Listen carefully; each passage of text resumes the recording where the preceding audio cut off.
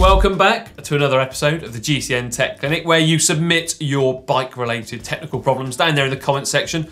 I do my very best to help solve them so you can get, well, riding your bike again. So if you've got one, let me know all about it. And as ever, let's crack on with the first question this week. That comes in from Leonard, uh, that has a Diamondback, and every time they take a large turn, the front wheel contacts the front of the foot.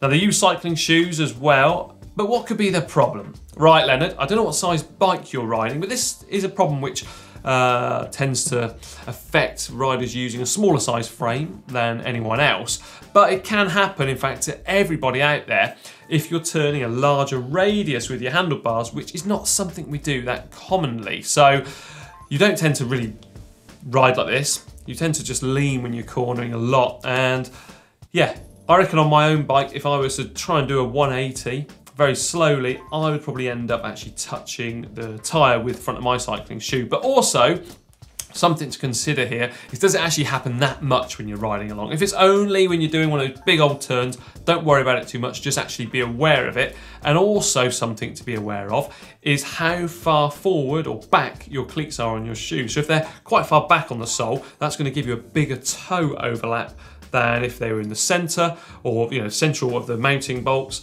or really far forward on them. So just think about that as well. Hopefully though, you're not going to be plagued with that problem when you're actually riding along. Our next one is from Yurimau, who says, Hi Jon, another rim brake conversion question. I'm restoring an old Botticia and I'm considering converting from cantilevers to side pull. The holes in the frame are present, but I'm worried they might be meant just for mud guards and not be able to handle the stresses of a brake. Oh, a Botticia or Bottecchia, absolutely brilliant bikes. Fond memories of Greg LeMond, 1989. Yeah, he used one of those. Anyway, what about this problem then? Well, first up, it's very unlikely that that frame is going to be compatible with both, I think. I mean, I haven't actually seen that model you're talking about, but there's not many bikes out there which were designed to take both cantilevers as well as a standard brake on there. So personally, I wouldn't risk it. Uh, I haven't seen the holes, but take it down to a local shop. Maybe they'll be able to advise you. But why not restore it to its original glory of having cantilevers on there? And when you've done with that, send in a picture of it to me for the GCN Tech Show. So we can actually use it in the Bike Vault. It's gonna be a beauty, that, an old Botticia. Uh, but yeah, personally, I wouldn't risk it if you're totally unsure. Go and use those cantilevers. Uh, next up is Dylan Kite. Now, Dylan says, They've got a question relating to tyre width versus rolling resistance. Dylan understands that wider tyres have a lower rolling resistance, but they weigh more. So where is the crossover point for where the higher weight outweighs the benefits of the lower rolling resistance? Right, Dylan? These questions are a can of worms. I'm just going to put that out there because, well, we're all riding in different styles, different road surfaces, different tyre pressures, uh, different tyres. So there's no definite answer for everyone out there. But don't worry, I did in fact reach out to a wheel company to ask about whether aerodynamic differences actually make a real change when it comes to tyre width.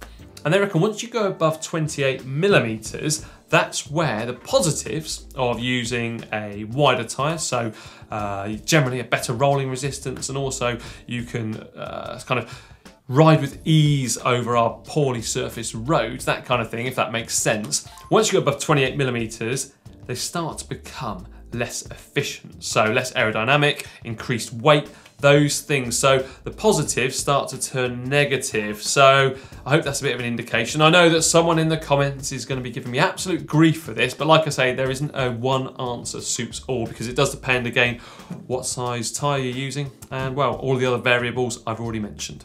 Next up is Ali Yazdi. Uh, now Ali says they've got a cheap wheel that they only use on the trainer and if they want to service it, should they use grease for ball bearings or can they use a thinner lubricant as it lowers the resistance? Right, thanks for the message. Use normal grease. Yep, I know that that thinner grease could well lower the resistance, but well, you're on a trainer, therefore you're training, and really, if anything, you want to have the hardest ride possible, but without actually damaging any components or such like. So go ahead, use that normal grease.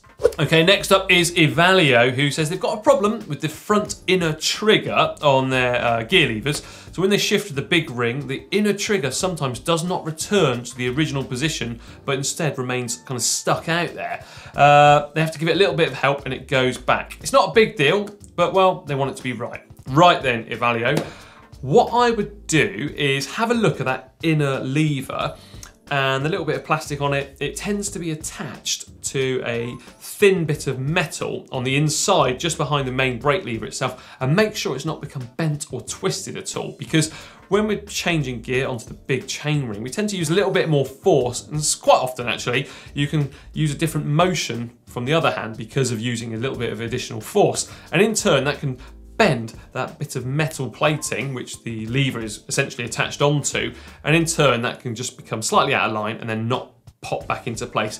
It is an issue which plagued me on the old Shimano Dura Ace 7900 shifters, and I had exactly the same. For some reason, my left hand, it tends to just slightly warp it, and uh, yeah, I just have to do the same, just gently bend it back and it should spring back into place a-okay. Right, next up we have Hutchinson who says, Hi Jon, is it okay to clean your bike components in a stainless steel kitchen sink if using biodegreasers and washing liquids?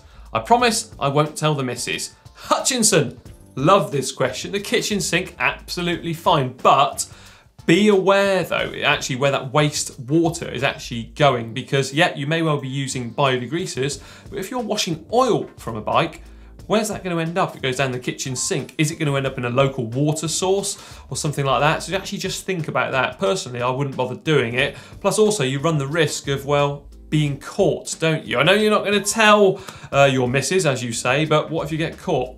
Naughty. So I wouldn't bother doing it. And next up is Christian. Uh, now Christian says they've just bought their first road bike. It's a mid-90s Ribble 653 steel frame with the original 2x8 Campagnolo Athena group set. Wow, I remember that. Those Ribbles were so popular back then and also that Campagnolo Athena from back then was absolutely beautiful. Polished, engraved logos, all that. Anyway, right, what about the question? Uh, now, if they were to change the brakes to dual pivots, would they have to replace the levers? And also, what am I better off upgrading next to more modern components, the wheel set or the drivetrain? Right, brake levers, what we've got to think about here is if you're going to be putting on a new set of brake calipers, is that the cable pull ratio is likely to have changed over the years. So in order to get the best possible braking, you are going to need to put some new brake levers on there too. As for the best thing to upgrade, don't take off that drivetrain, please don't. It's absolutely fantastic. It's one of my favourite eras of Campagnolo, so please, please, please just don't do that. Instead, get yourself some nice classic looking wheels on there instead, because normally the wheels are what make the big difference on a bike when you hop on it. And yeah, keep those down tube shifters too. It's an absolute classic that. Can't get enough of it. And then send in a picture to me as well. Right, and the final question this week comes in from Durgit Stingit to him. I hope I've pronounced that correctly. Uh, hi Jon, using a Tiagra 4700 long cage rear mech on my bike with an 1134 cassette and a 5236 crankset. Can I change my sprockets into 1228? Do I need to change the rear derailleur into a short cage? Do I also need to change the chain? Right, yeah, you can use that rear derailleur on the 28 tooth cassette, no problem at all.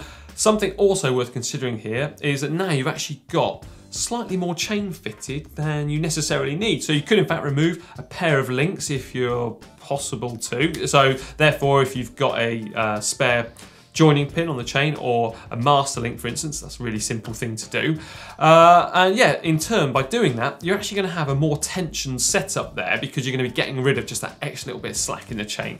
Go ahead and do it. It's a nice, easy thing to do. Right, there we are. Another GCN Tech Clinic done and dusted. But like I said at the start of the show, you've got a bike related problem, leave it down there in the comment section because I want to help solve it. Don't forget too to like and share this video with your friends and also check out the GCN shop at shop.globalcyclingnetwork.com. And now for another absolutely amazing video, click just down here.